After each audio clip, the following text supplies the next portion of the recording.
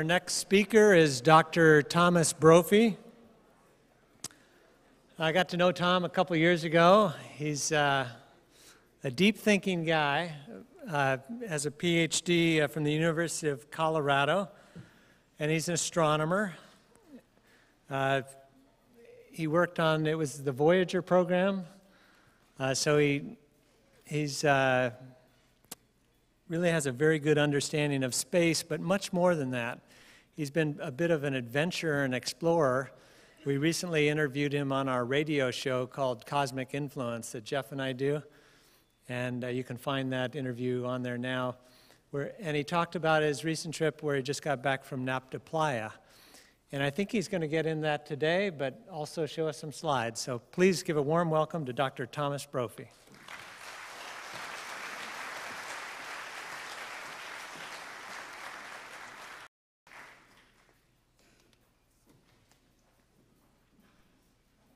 Can you hear me? Is the Is the mic on? Yeah. Thank you, Walter. And thank you, Walter, for a very nicely organized conference.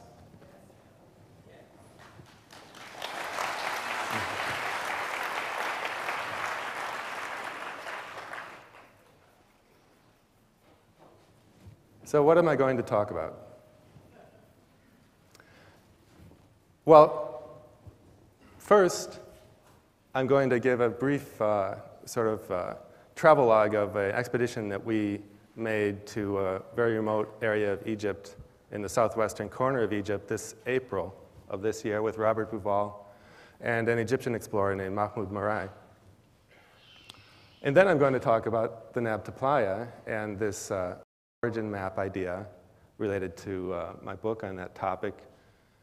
And I'm going to uh, mention a little bit integral theory, how these ideas can be fit together into a coherent whole, perhaps.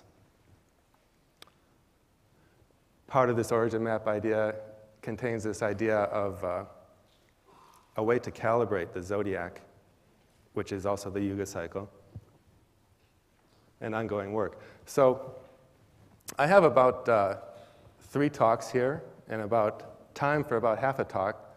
So I'm going to talk six times as fast. no, I'm not going to. But I'm going to go very fast through parts of it that uh, you can just kind of watch, like watching TV or something. And then hopefully I'm going to slow down on a few parts that you can really wrap your mind around.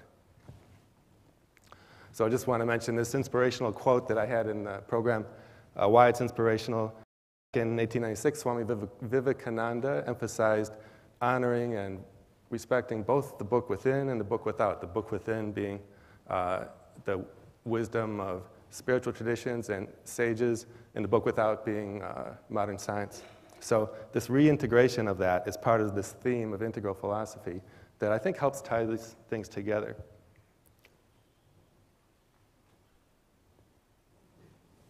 So, our expedition this April um, was taking off from the western oases in Egypt going down here to this area called Gilf Kebir and this area called Gebel Uweinat in the corner of Egypt and actually in Sudan. And this is an area that uh, is really not fully explored.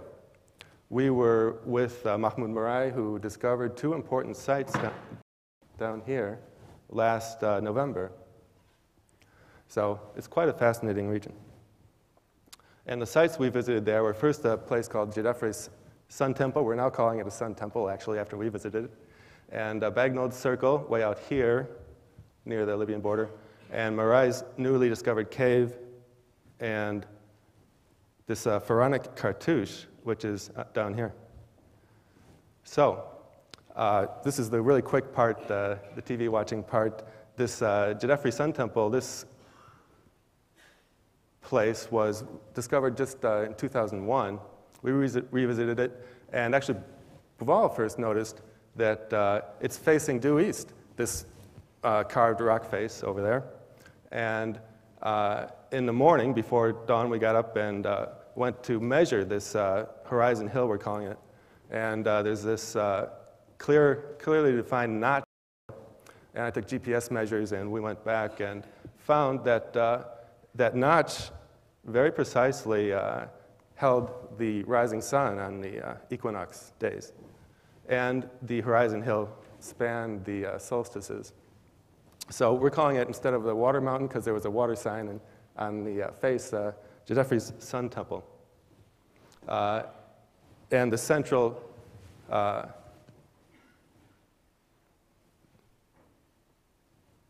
hieroglyphs there has this uh, solar boat, solar barge. Solar barge usually carries the usual suspects, you know, the major gods and goddesses, but here it contains these three stations, which I think may be the three stations of the sun on the horizon hill across the way.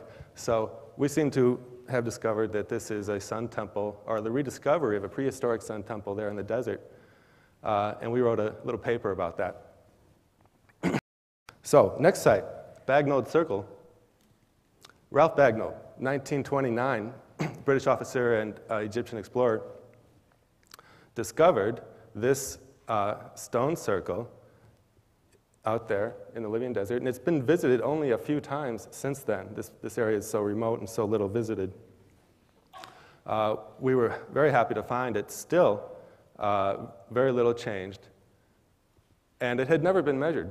Hadn't even measured which way it was exactly north or, or east, you know, to look for possible astronomy. And we found this very nice uh, east-west alignment in that circle, and uh, Robert Bauval was there too. Uh, and this very nice uh, north-south alignment uh, on the circle also.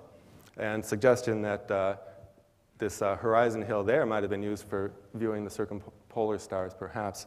This circle is probably about, uh, dates to about 5000 BC or, or earlier. That's the same age as the uh, Nabta Playa calendar circle, roughly, that I'm going to talk about later. And uh, no, that was Robert Bauval. Robert Bauval doing something. Uh, 10 kilometers as we left that circle, we discovered uh, this uh, remains the foundations of a Neolithic era house. There's lots out there. Uh, the famous, slightly famous Cave of the Swimmers from the, the movie um, The English Patient. We took a quick visit there. That's Marai. Uh, you got to see that. It's called the Cave of the Swimmers because it has these paintings of swimmers. Uh, and it's by a wadi that, in that time when, when, the, uh, when there were rains, uh, there's also giraffes on these caves and, and uh, animals that lived in the uh, climate when it was nice and moist at that time. There's another cave that we visited that I started calling the Cave of the Shamans because it has this, uh, what looks like shamanic imagery, these headless animals with uh, a shaman like character coming out of them and uh, all the hands. But that's for another talk. Okay. Newly discovered cave. Last November, Marai discovered this cave. Uh, and these, in this region, there's a motif of bulls and cows all over the place. And these all date to when the area was, uh, had a nice climate. It was before the era of hyper-aridity, extreme dryness that went from about 3,600 or 4,000 BC to present. So these are all earlier than that, perhaps as much as 10,000 BC or so. Beautiful paintings. And this particular cave, in the back of it, there's actually a megalithic structure. This is about a two meter stone that was shaped and put there to make the back wall of the cave. This is the Gebel Uweinat, very remote, uh, slightly dangerous region. But uh, this is that uh, cartouche that was discovered way out there at Gebel Uweinat. There's a pharaonic cartouche, it's very faded, but it has the name of a, a pharaoh and uh, an inscription there that says something like incense offering from kingdom of Yam to the pharaoh. So there was a uh, brief mentions in, in uh, Middle Kingdom texts, Egyptian texts, of something called the kingdom of Yam and expeditions to that kingdom.